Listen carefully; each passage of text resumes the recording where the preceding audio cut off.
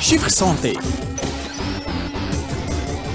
تونس تحتل المرتبة 11 عالميا لارتفاع مصابي السكري بمليون وأكثر من 100 ألف مصاب تونسي. هذه حسب الإحصائيات اللي صدرت مؤخرا عن الجامعة الدولية لمرضى السكري وين تبين أن نسبة مرضى السكري في تونس شهدت ارتفاع خلال السنوات الأخيرة ليبلغ عدد المرضى بمليون و100 ألف مصاب أي ما يعادل 11% من السكان واللي تحتل تونس المرتبة 11 دوليا ونعاود نذكركم أنه يتوزع عدد المصابين بمرضى السكري في تونس إلى نوعان النوع الأول المصاب به وهو قرابة 100 ألف تونسي أكثر من 100 ألف تونسي ويتمثل في انعدام مادة الأنسولين في الجسم. تماما أما النوع الثاني من مرض السكري مصاب به حوالي أكثر من مليون تونسي يتمثل في النقص في إفراز مادة الأنسولين. كان هذا Chiffre Santé بالنسبة لليوم.